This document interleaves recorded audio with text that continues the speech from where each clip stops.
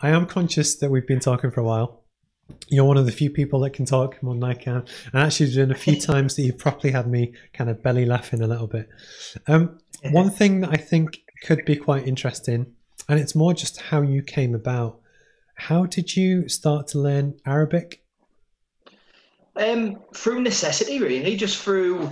Um, I knew I was. I went to Sharm el Sheikh, and I knew that I was going to end up traveling the region. I know what I'm like, and um, I just wanted to know what was being said around me. I'm there with my my girlfriend. I'm there with her family, and it, you know, it, it is a, a of that region are a little bit volatile. So just to be on the safe side, it's nice to know what's being said around you, really. Um, and then when I started using Arabic in the hotels and stuff in Egypt, and I'm getting such like a, a wow reaction from the locals, that kind of taught me that you know what, for the little tiny bit of effort it takes to watch a few YouTube videos, write some phrases down, box them off, and use them, then it's completely worth your time, really. Because um, I, I think never for your business, I think there's actually a big opportunity there. Mad how it's all worked out. Because in the 90s and the early 2000s, there used to be a guy on Spanish TV who was a Scouser, and his Spanish was oh, yeah. terrible.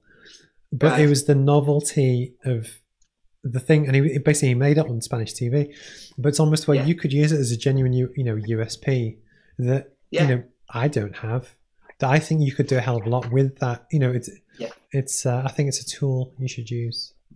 It is. It came across quite well in the video. Like when I made the Morocco video searching for spices, I remember walking through like a beautiful blue alley in the Medina, and I'm I'm talking on the phone, uh, talking to my, my camera, and um, some guy, I've got to bump into some guy, and I'm like, Ana Asef Sadiki, which is, I'm sorry, my friend. And I'm like, yes, yeah, I just said, I'm, I'm sorry in Arabic, in my strongest butter accent.